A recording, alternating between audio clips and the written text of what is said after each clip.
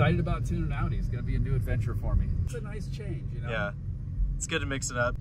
Yes, I'm sure the BMW people think I'm a traitor, and you know, the Audi people think I'm too much of a BMW guy. But I love cars, and uh, you know, part of the thing I'm doing with CarBahn is I'm doing BMW, Mercedes, Porsche, and Audi, not just BMW. So it, it's an interesting part of my life uh, that I get to take what I've learned from each brand and translate into the other one. Because what's interesting is each one of the car companies does something better and something worse than the other brand.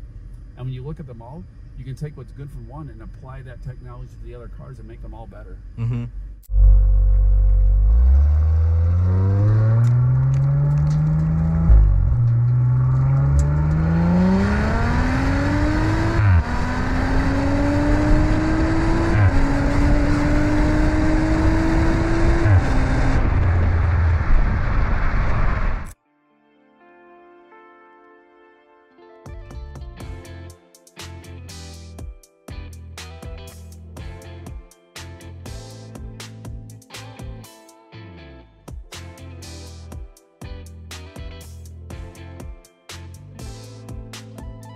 All right, we got a 2023 Audi RS5 we just got a week ago.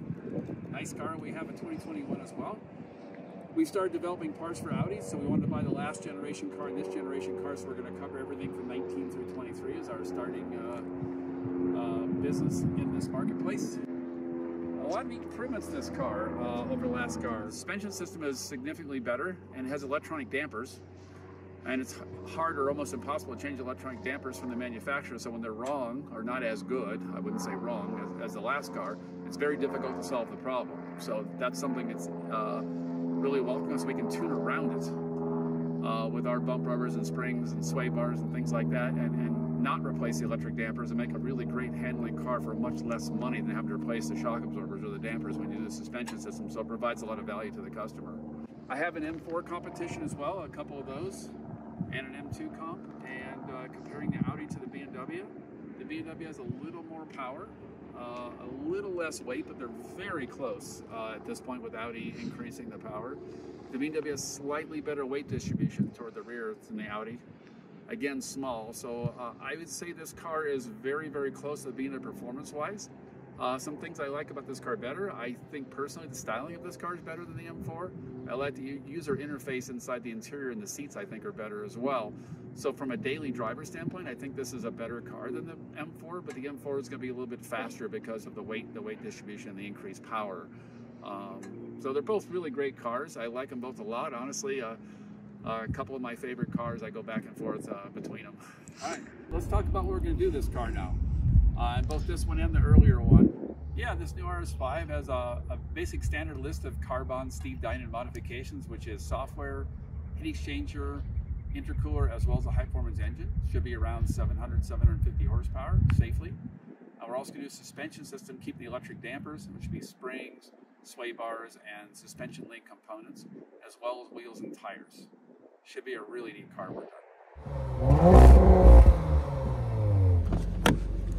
They lower the rev limiter neutral so idiots don't sit there and uh, rev the thing up against the rev limiter and hurt the engine. So it's probably a good thing. No, it's a smart thing. All the car manufacturers started doing that because people would literally sit there and go ah da, da, da, da, off the rev limiter until they broke the car. So yeah, so one of the neat things about this car is the shift lights. Uh, normally the shift lights go up and the, and they're at the top, and a lot of times you lower the steering wheel when you're on a on a windy road or on the racetrack to get so your hands cross over when the car gets sideways, you can reach the top of the steering wheel rim, and then it cuts off the shift lights. On a race car, they build them in up on top or on the end of the steering wheel, so they're easy to see. But this particular thing, they put the shift lights at the bottom, so the revs go down, which is really cool.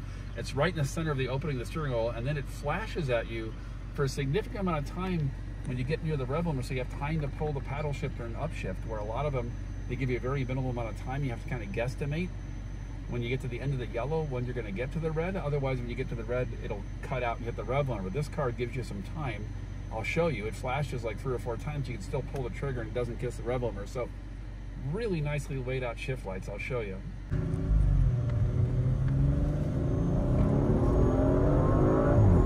Sam flash.